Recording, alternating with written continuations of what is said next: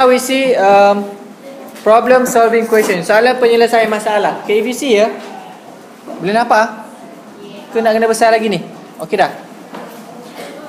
Okay, Jenny wants to put 48 orange flavor sweets and 52 apple flavor sweets in several container such that each container will have the same number of orange flavor and apple flavored sweets.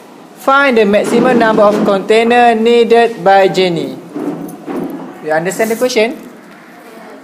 Okay, sekarang dia kata macam ni. Jenny dia ada berapa? Berapa jenis coklat? Berapa jenis coklat dia ada? Dua jenis kan? Which is? Orange and? Apple. Okay, right now. Orange there are 48 orange. And then apple there are 52 so sekarang dia kata 48 orange and 52 apple ni dia nak letak dalam satu bekas. Berapakah maksimum bekas yang paling berapakah bilangan bekas yang paling maksimum yang dia boleh letak coklat tersebut?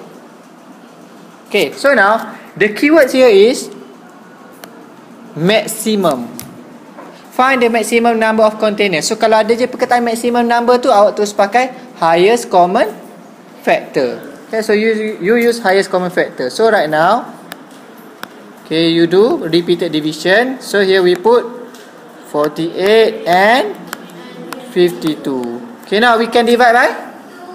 Okay, 48 divided by 2. 24. 52 divided by 2. 26. And divide again by 2. 24 divided by 2. 26 divided by 2 13 Can we divide again?